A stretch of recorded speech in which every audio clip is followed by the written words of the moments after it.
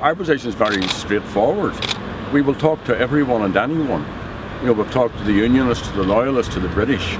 So we don't have any problem with talking to uh, Fine Gael or Fianna Fáil. They're the parties who have said that they won't talk to us, that we're not worthy to be talked to, that our electorate aren't worthy to be uh, talked to.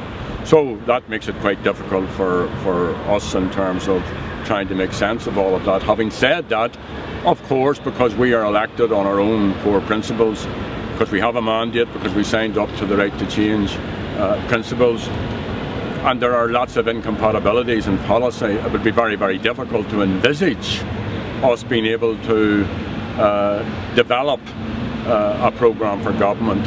Uh, but in terms of talks, we're happy to talk to anyone.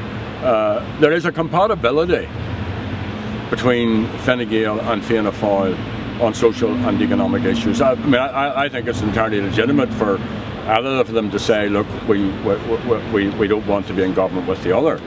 But I do think that the offer that was made by the, the acting Taoiseach to Micheál Martin did deserve more exploration and more examination than it was given, where, where he was saying, uh, come in on the basis of partnership, on the basis of equality, uh, and there was even talk about there being a Arulfudine uh, Taoiseach, so I don't think Fianna Fáil dealt with that uh, properly. At the same time, I don't think that Fine Gael were right to put it out publicly as they did.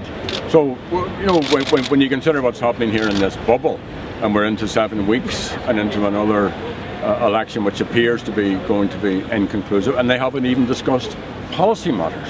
They haven't even sat down and exchanged policy papers. So what were they doing for the last number of uh, so-called negotiations?